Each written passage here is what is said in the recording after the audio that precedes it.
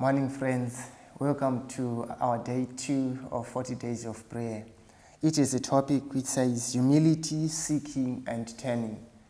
Let us pray. Our Father, which art in heaven, we thank you for this day. We thank you for allowing us to talk to you. We thank you for opening your ear to our prayers. We thank you for answering our prayers. In Jesus' name I pray. Amen. Our reflection is coming from the book of Chronicles, Second Chronicles chapter 7 verse 14. It reads, "If my people who are called by my name will humble themselves and pray and seek my face and turn from their wicked ways, then I will hear from heaven and will forgive their sin and heal their land." Repentance humility, a broken heart, and a contrite spirit are the offering that the Lord wants us to give unto Him.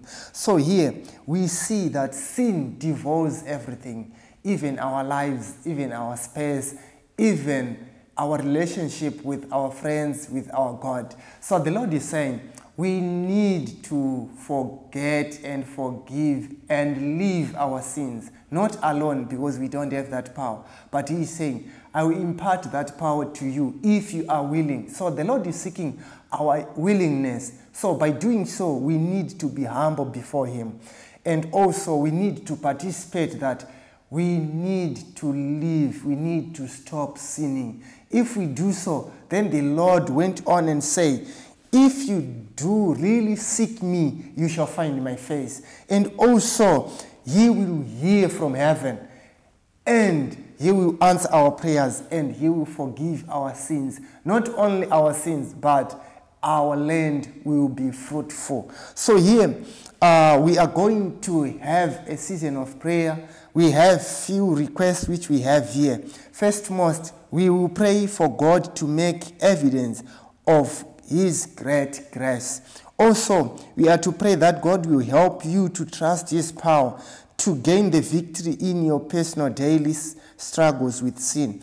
Also, pray for the Holy Spirit to be poured out on your pastor and church. We are also to pray for the spirit of prayer to saturate the hearts of all in position of leadership. Pray that God will mend and any broken relationship in your life that need to be restored and give you a heart of repentance and true humility if you wounded one another. So the Lord is saying we need to build relationship with one another.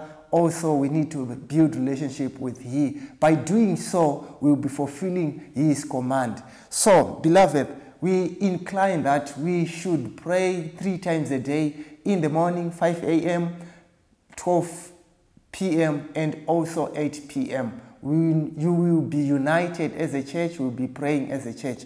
Let me pray as I'm about to close. Our Father, which art in heaven, we thank you for giving us power to leave our sins.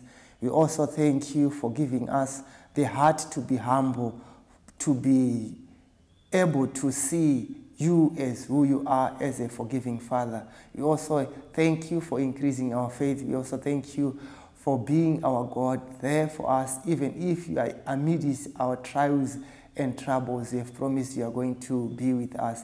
Increase our faith and give us strength to walk with you. In Jesus' name I pray. Amen.